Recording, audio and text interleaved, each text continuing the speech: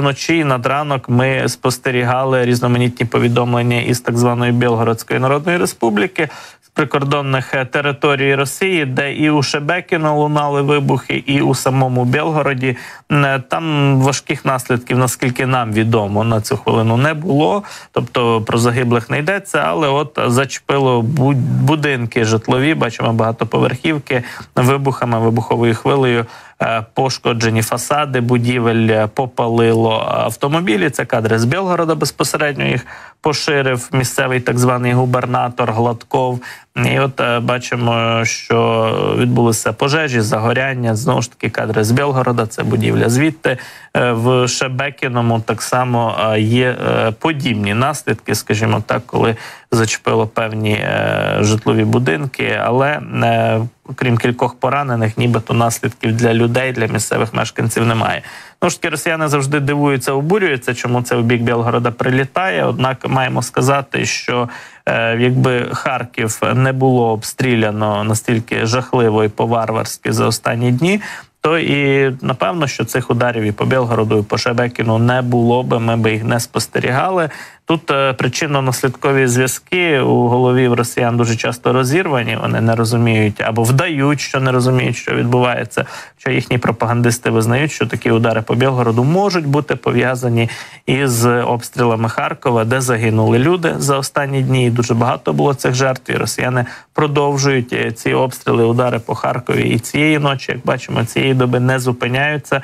Ну і водночас бачимо, і в бік Білгородської області прилітає. Це взаємопов'язані процеси. Ну далі поговоримо про взаємопов'язані процеси на фронті. У нас відбувається.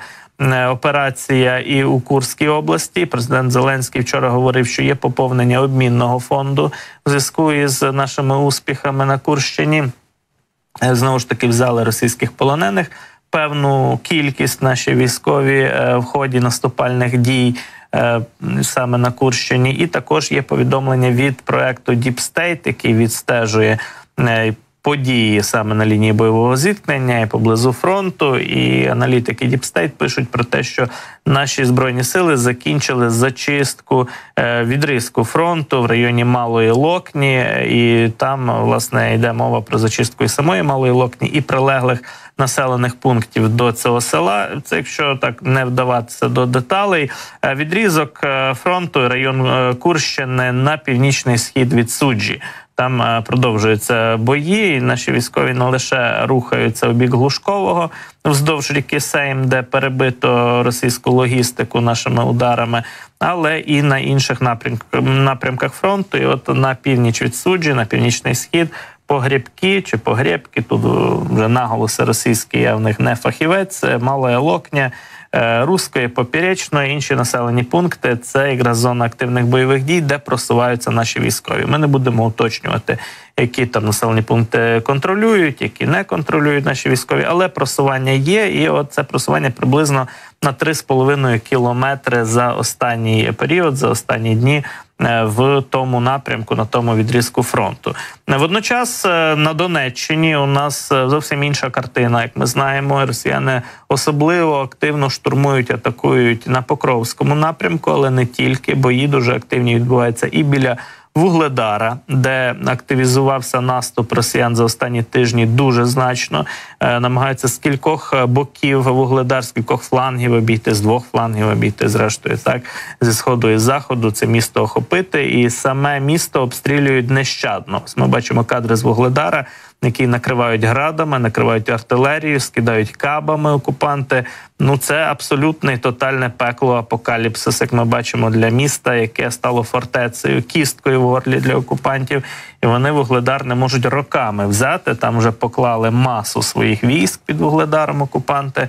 Ну і от зараз накинулися із новою силою на це місто, намагаються його обійти, а водночас обстрілювати і нищити дуже активно. Окрім Вугледара, у нас бої також і на напрямку біля часового яру, на Краматорському напрямку. Там тримається наша оборона.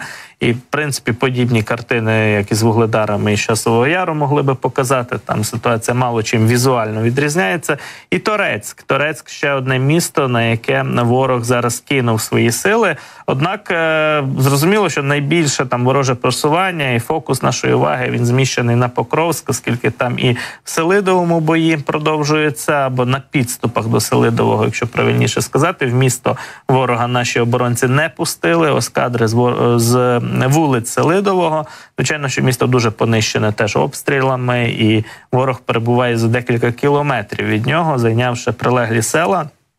Окупанти зараз наразі готуються до активних штурмів Селидового, згромаджують резерви. Е, Вже пробували штурмувати, зрештою, але нічого в них не вийшло. І з втратами ворог відійшов на позиції біля Селидового і продовжує от штурмові дії.